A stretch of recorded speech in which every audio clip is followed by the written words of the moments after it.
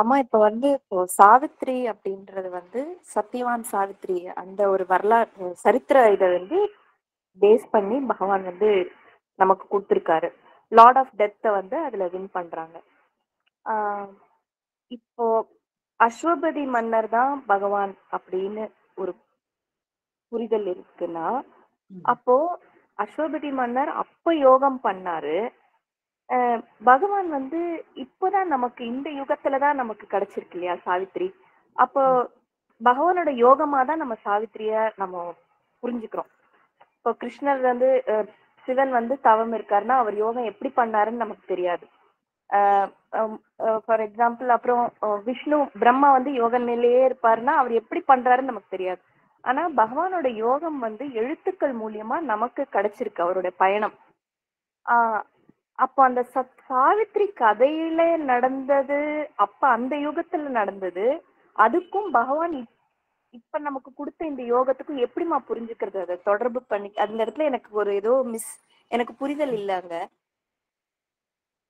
Okay thank you ரொம்ப நல்ல கேள்வி இது Shanmugapriya. Thank you for bringing up அதாவது என்னன்னாக்கா நான் இதுக்கு முன்னாடி கேள்வியிலையும் சொன்னேன் நான். இதெல்லாம் அந்த சாரதாமா கேட்டதுக்கு நான் சொன்னேன். இதெல்லாம் ஒரு சிம்பாலிக்காக சொல்லப்பட்ட விஷயங்கள். இப்போ இது வந்து கொஞ்சம் பெரிய பதிலா இருக்கும். எல்லாரும் அதுக்கு ஓகேன்னு நினைக்கிறேன். ஓகேவா? கண்டிப்பா. ஓகே.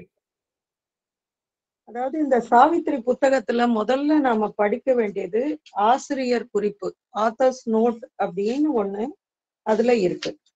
இந்த ஆத்தர்ஸ் நோட்டை மட்டும் நீங்க வந்து படிச்சீங்கன்னா அதுவே வந்து ஒரு பெரிய புரிதலை உங்களுக்கு கொடுக்கும். அத ஃபுல்லா நான் படிக்க போறது இல்ல ஆனா அதனுடைய ஒரு கடைசி வரி அதை மட்டும் நான் உங்களுக்கு வாசிக்கிறேன். அப்போ அது இது என்னங்கிறது புரியும். Still, this is not a mere allegory.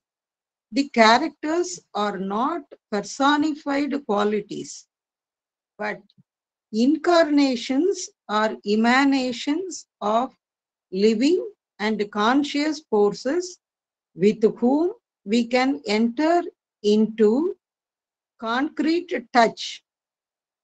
With whom we can enter into concrete touch and they take human bodies in order to help man and show him the way from his mortal state to a divine consciousness and immortal life.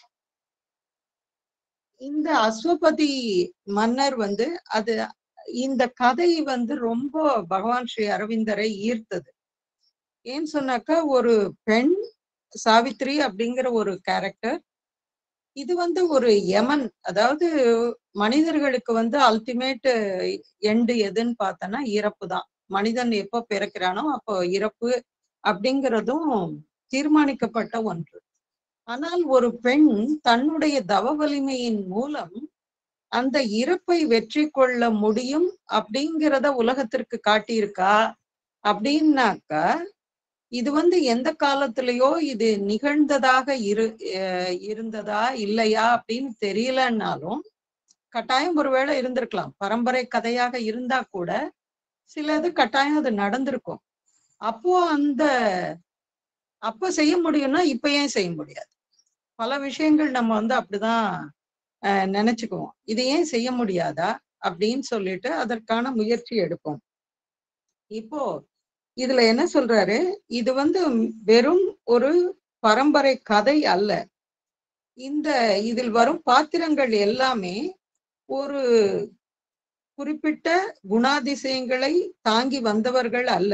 ஆனால் incarnations are emanations of living and conscious forces அதாவது உணர்வுள்ள சக்திகள் இவங்க எல்லாரும்.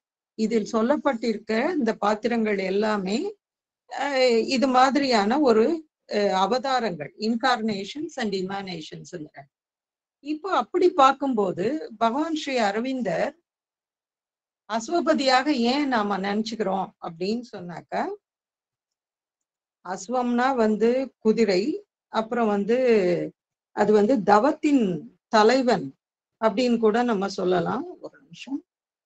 Ashwapati the lord of the hearts the her human father is the lord of tapasya அப்படிங்கிறார். தவத்தின் தலைவன் அப்படின்னு அவர் சொல்றாரு. இப்ப ஸ்ரீரபிந்தோவும் தவத்தின் தலைவர் தானே இல்லையா? இப்போ நம்ம புராண கதையில அதுல என்ன சொல்லப்பட்டிருக்கு அப்படின்னு சொன்னாக்கா பதினெட்டு ஆண்டுகள் அஸ்வபதி வந்து தவம் செய்து குழந்தை பேருக்காக தவம் செய்து கடைசியில சாவித்திரியை வந்து பெற்றார் அப்படின்னு புராண கதையில வருது. இந்த பதினெட்டு வருடங்கள் இங்கே சாவித்திரியில சொல்லப்பட்ட போது பதினெட்டு காண்டங்களாக சொல்லப்படுகிறது. எப்படின்னாக்கா புக் ஒன்ல book three sorry canto three four five அதுக்கப்புறம் புக் டூல பதினஞ்சு காண்டங்கள். சோ இந்த பதினெட்டு காண்டங்கள் வந்து அந்த பதினெட்டு வருடங்களுக்கு ஈடாக சொல்லலாம்.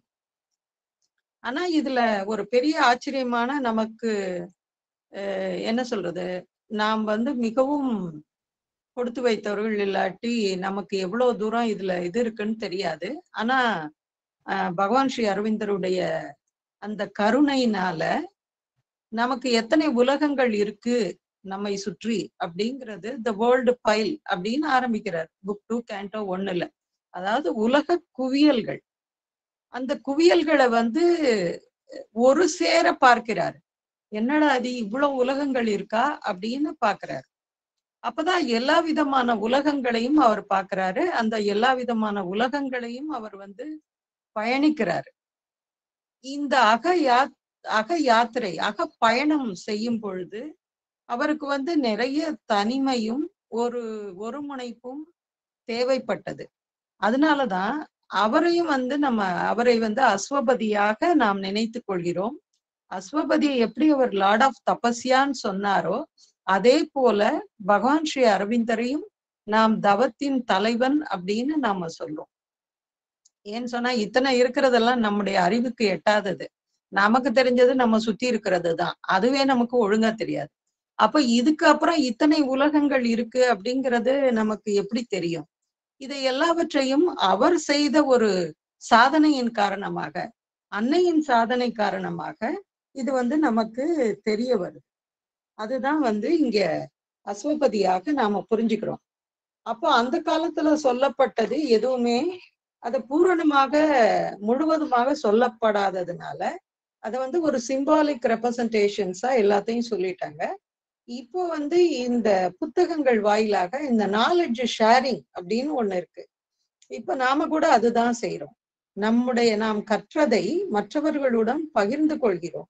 அதற்கான ஒரு காலம் இப்பொழுது வந்து விட்டது. இன்டர்நெட் மூலமாக உலகமே மாறிடுச்சு. எல்லாமே இப்போ வந்து அபண்டன்ட் நாலெட்ஜ் எல்லாம் அபண்டன்ட் எவ்வளவு வேணாலும் நீங்க வந்து படிக்கலாம். எவ்வளவு வேணாலும் நீங்க செய்யலாம். எங்க எந்த இடத்துக்கு வேணாலும் சுத்தலாம்.